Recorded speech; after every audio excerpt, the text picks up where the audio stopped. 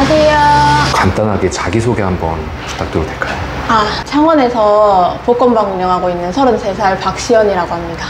여기 혼자 계속 내내 계시는 거예요? 네, 보통 저 같은 경우는 10시 반에서 11시 사이에 출근해서 네. 한 8시, 9시까지 있는 편이에요. 어, 생각보다 너무 어리셔서 네. 놀랐어요. 어떻게 이거 시작하게 되신 거예요? 우연찮게 제가 이제 자격 요건에 해당한다는 거를 알게 됐고 그래서 한번 넣어볼까 하고 그냥 아무 생각 없이 넣었는데 한 번에 당첨이 된 거예요. 한 번에 당첨되는 것도 쉽지 않은 일이라고 하는데 한 번에 당첨이 돼가지고 얼떨떨한 상태에서 준비 없이 제가 오픈을 하게 됐거든요. 복권 판매하는 거 아무나 못하는 거 아니에요? 네, 판매인은 장애인, 기초생활수급자, 국가유공자, 독립유공자, 베트남 참- 참전용사, 6.25 참전용사, 직계가족들까지 가능하거든요. 음. 독립유공자 같은 경우는 손녀, 손자까지 신청이 가능해요. 아 근데 가족분들 중에 그런 분들이 있으셔서 네, 네. 신청을 하신 거예요 직접? 네, 그래가지고 한 번에 당첨이 됐고. 원래 한 번에 당첨이 잘 안 돼요. 네, 정말 힘들다 하더라고요. 이게 아. 당첨되는 것 자체가 로또라고 할 만큼 네. 진짜 당첨되는 게 힘들대요. 그러면 신청은 어디서 어떤 절차로 하는 거예요? 동행복권 사이트에 1년에 한 번씩? 1년에 한 번씩은 아니고 티오가 날 때가 있는데 거기에 자격 요건에 해당하고 내가 살고 있는 이 동네 지역에 티오가 있으면 신청이 가능하거든요. 원래 티오가 잘 안 나와요. 티오가 원래는 자주 안 나야 하는데 폐점률이 아무래도 요즘 조금 있다 보니까 티오는 계속 나오고 있는 것 같아요. 아, 그럼 언제 시작하신 거예요? 저는 지금 20년도 5월 달부터 시작을 했거든요. 지금 5년 차. 28에 시작하셨네요. 네. 안녕히 가세요. 방금은 스피또 복권 사가셨어요. 아 즉석 복권이에요? 즉석 복권 긁는 거. 어, 어떤 게 요새 많이 나가요? 요즘 스피또 좀 많이 나가고 있어요. 스피또 같은 경우 저희 가게는 원래 판매량 자체가 많지가 않았거든요. 근데 제가 판매율을 좀 노- 어떻게 하면 더 높일까 고민을 하다가 출고율 표 판을 만들었어요. 그래서 이제 보이게끔 손님들 눈에 띄게끔 여기저기 비치를 해놓으니까 궁금증이 생기셨는지 조금씩 판매율이 올라가더라고요. 출고율 네, 출고율이랑 1등, 2등이 몇 명 남았는지 출고돼야 될 복권이 28%가 남아있는데 그 안에 지금 1등이 6장 남아있는 거예요. 그러면은 1등이 나올 확률이 높은 거겠죠? 아무래도. 아 이런 게 체크가 되는 거예요? 네. 1등이 얼마예요? 얘는 이제 두 개를 한 세트로 보기 때문에 네. 10억, 10억 해서 20억이요. 아 얘 같은 경우는 한 장에 5억.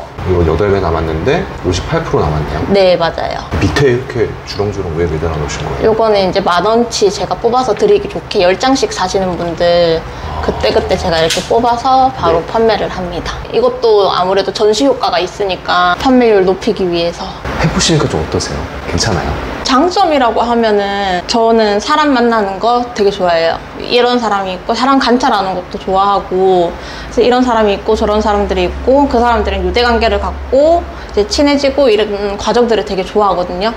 그런 부분은 좋은데 수입적인 부분에 있어서는 생각했던 것만큼은 아니에요. 수입이 제일 궁금해요 수입 같은 경우는 로또는 5.5%예요. 동행 복권에서 가져가는 게 94.5%. 저희가 가져가는 게 5.5%. 근데 거기서 0.5%는 부가세를 내야 되기 때문에 따로 또 떼내야 되는 거라서 5% 정도가 저희 순이익이라고 보시면 되거든요. 스피또나 연금복권 같은 인쇄복권들은 10%예요. 근데 이제 판매율 자체가 로또가 월등하게 높다 보니까 얘네들은 크게 영향을 주진 않아요, 매출에. 감사합니다. 안녕히 가세요.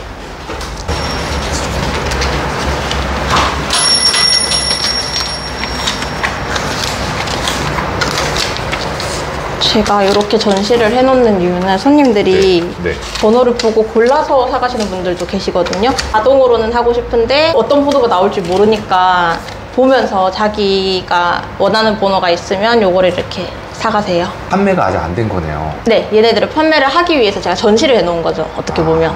그럼 사장님이 랜덤으로 뽑으신 거네요 이거는? 네, 자동으로 뽑아놓은 거. 자기가 생각하고 있는 번호가 요 안에 있다. 그러면 요걸 사가시는 거예요. 그리고 아니면 또 잔돈 남아가지고 애매하게 남아 있으신 분들. 그런 분들이 이제 천 원짜리, 이천 원짜리 사가시기도 하고. 실제로 이렇게 해서 여기서 구매하시는 분들 꽤 있어요 많아요. 여기서 3등이 많이 나왔어요. 부업처럼 팔고 있는 건데. 아, 아, 그냥 이거는 뭐예요? 제가 부업처럼 판매하고 있는 거고요. 음. 이런 것도 찾으시는 분들이 계시더라고요. 부적처럼 가지고 계시려고 서- 아니면 선물하시거나 뭐예요? 요거는 진짜 24K 금이에요. 진짜 금이라서 아. 기운 좀 받으시라고 손님들 이제 마킹한 자리에다가 놔둔 거예요. 근데 이렇게 안내하셨잖아요. 네네. 보면은 복권은 왜 카드 결제가 안 되는 거예요? 카드가 아무래도 풀 결제잖아요. 그러니까 제 수중에 없는 돈으로 구매를 하는 게 되는 거니까 가소비를 막기 위해서 아무래도 그렇지 않을까. 아, 가끔 가다가 체크카드로 그러면 하면 되는데 왜 체크카드도 안 받냐고 하시는데 체크카드랑 신용카드랑 구별할 수 있는 단말기가 저희한테는 없어요. 다 마찬가지예요. 아, 궁금하게 그러면 한 얼마나 이 판매를 하시는 거예요? 제가 1등이 나오고 나서 그 전보다 한 두 배 정도 올랐어요. 막 장사가 잘 되는 편은 아니었는데 아니 안 됐죠 사실은 장사가 너무 안 돼서 장사를 접으려고 했는데 어. 부동산이 다 내놓고 일주일 뒤에 1등 나온 거거든요. 네. 그래서 그 정도로 장사가 너무 안 돼서 진짜 맨날 울고 우울해하고 막 힘들었어요. 그럼 1등은 언제 나온 거예요? 1등은 작년 11월 마지막 주요. 얼마 안 됐네요. 네. 그 전에는 매출이 많이 떨어졌었어요. 그때는 제가 가져가는 돈이 진짜 얼마 안 될 때는 2, 30 정도 제가 달에 벌어갔나? 많으면 50에서 60? 이게 로또도 성수기, 비수기가 있거든요. 연말, 연초 이때는 이제 성수기로 확 몰리고요. 비수기 때는 이제 지금 같이 휴가철, 장마철 이럴 때는 매출이 많이 떨어져요. 음, 음, 그러다 보니까 잘 팔 때는 뭐 100만 원 이상 남을 때도 있기는 있었죠. 그러다가도 이제 코로나 때 제가 딱 코로나 맞물려서 시작을 하는 바람에 계속 밑으로 거꾸라졌죠. 그럼 1등 나오고 매출이 좀 어떻게 바뀌었어요? 두 배 넘게 가까이 올랐다가 완전 고점으로 치고 5월달 기점으로 좀 많이 가정의 달이니까 돈이 많이 나가니까 이제 그때부터 다시 살살 내려와가지고 그래도 어느 정도는 유지가 되고 있는 것 같아요. 그럼 지금은 한 어느 정도? 다 떼고 200 정도는 어떻게 보면 최저 시급도 안 나오는 안 상황이네요. 시급은 나오지 않냐 하시는 분들 많은데 없. 손님들 중에서도 아 좋겠다. 가만히 앉아 시원한 데 앉아서 돈 벌고 가만히 앉아서 돈 벌고. 이러시는데 아, 솔직히 복장 터지죠 저는. 시급도 안 나오는데. 아니 보통 사실 보면은 1등 한두 번 정도 나온 데 간혹가다 있잖아요. 네네네. 보면 좀 괜찮게 되겠다. 이렇게 생각을 했었거든요. 그런 곳도 있겠지만 이게 가게 위치도 중요하겠죠. 근데 저희 가게 자체가 유동 인구가 많은 곳 이런 곳이 아니기 때문에 지금 정도로도 저는 일단은 만족은 하고 있어요. 감사해요. 이 정도라도. 일단 제가 출퇴근이 자유롭고 또 그 안에 제가 좋아하는 일들 이제 컴퓨터 작업 같은 걸 이런 것도 할 수 있고 제 시간을 조금 더 자유롭게 쓰고 싶다. 근데 뭐 돈에 크게 구애는 받지 않는다. 가정을 책임져야 되고 내가 가장이고 이런 상황이 아니다. 그러면은 해봐도 나쁘지 않을. 사실 1등이 많이 나와줘야 이제 매출도 올라가는 거잖아요. 맞아요. 근데 그거는 어떻게 할 수 없는 거잖아요. 저희가 마음대로 할 수 있는 게 아니다 보니까 명당 같은 경우는 1등이 막 10번, 20번 이렇게 나오고 이랬던 곳들은 오래됐어요. 그만큼 누적이 되어 왔으니까 명당이 된 건데 이제 신규 판매점들은 누적되어 있는 1등이 없잖아요. 그러니까 판매율 자체가 그렇게 월등히 올라갈 이유가 없단 말이죠. 그래서 패점률이 높다고 했던 게 명당과 신규점의 차이가 어마어마하거든요. 저보다도 판매가 안 되는 곳들도 있거든요. 그분들은 이제 월세 내고 공과금 내고 하면 정말 가져가는 게 없으실 거예요. 힘들어요. 그럼 유지하는 것 자체가 힘드니까 폐점을 하게 되는 거예요. 그래서 또 TO가 생기고 또 신규들이 들어오는데 신규들이 버티기가 힘든 구조인 거죠, 사실상. 딱 되게 힘드실 때 이제 1등 나왔다고 이제 알림을 받으셨잖아요. 네네. 어떠셨어요? 진짜 기분이 좋았어요. 좋은데 좋은가 동시에 약간 하, 이게 맞나? 저는 진짜 그만두고 다른 일 찾으려고 그렇게 딱 마음을 먹고 있었는데 아 그만두지 말라는 거구나. 누가 됐지? 누가 됐을까? 내 건 아니겠지 하면서 제 거 한번 검색해봤는데 제 건 아니었고 아, 사장님도 매주 하세요? 저도 매주 해요. 얼마나 하세요? 저는 저쪽에 전시해 놓은 것들이 안 팔리면 저 남은 거를 제가 가져가야 되니까 어, 평균적으로 한 4, 5만 원씩은 일주일에 하게 되는 것 같아요. 제가 고정적으로 하는 건 2만 원이거든요. 어... 2만 원인데 이제 남는 애들을 제가 먹어야 되니까 어쩔 수 없이 이제 약간의 오버가 되는 된 적 있으세요? 4등까지만 돼봤어요. 5만 원. 아 지금까지 그렇게 많이 했는데 네. 3등도 쉽지가 않아요. 아 근데 거기 계속 앉아 있으면 네. 도박처럼 계속 하고 싶을 것 같아요. 제가 즉석 복권을 한번 끌었거든요. 정신 차리니까 한 20장 긁고 있더라고요. 아, 안 된다. 정신 차려야 된다. 진짜 즉석 복권은 진짜 바로 바로 나오니까 이거 중독 진짜 조심해야 되겠다 싶더라고요. 사장님은 즉석 복권 해서 당첨된 적 있으세요? 저도 만 원이 최대였나?